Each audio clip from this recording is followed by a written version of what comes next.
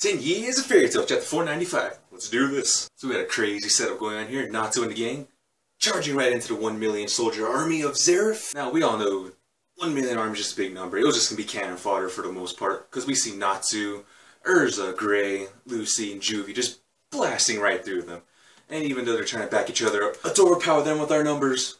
It's not really going to happen. Toss any number you want. If you're just cannon fodder, you're cannon fodder. It's a basic fact. From out of the woodwork, we start seeing more and more people coming through. We see Wendy, we see Elfman, Angel, Yukino, and all these other characters coming in for the big fight, charging through to get to Fairy Tail, get to Mavis, get to Zeref. However, on their way, we see the main obstacle. First off, partially resurrected God Serena, bringing in the eight dragon modes that we've heard so much about. He tosses in some fire, he tosses in some water. We're seeing that magic that he's pretty much been hyped up all about. Now, for the most part, we see him living living up to the hype. He's pushing back all these Fairy Tail members that are charging right for him, saying, nope, you're not going to get past me. So I'm trying to wonder how strong he is. He claims to be the strongest, so we're about to find out how strong he is. We obviously see Natsu struggling against him, which is a good thing, so he's not going to be a simple pushover. And as they struggle for a bit, there wasn't really much to this chapter except for some fighting, some pretty sweet fighting. Now though, for that ending, ooh, that ending. You see the big guy himself Big Papa Gildarts coming in like that plot armor needs him to. Looking all scruffly, scraggly, ready to go home to Fairy Tail, drink some spirits, and crash out and eat like a king. After about a year, I'm curious to see how stronger Gildart has gone.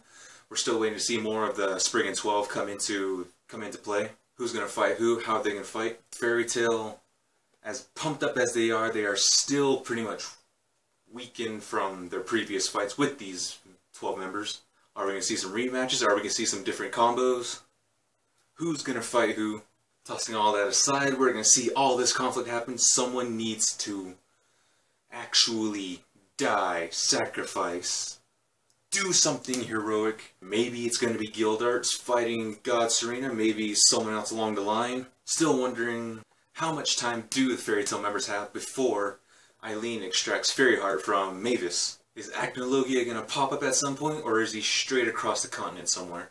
Is Zeref going to fight? And another thing, too, we see Happy remembering Zeref saying, You destroy me, Natsu's going to die too. So he has some conflicting emotions inside of him.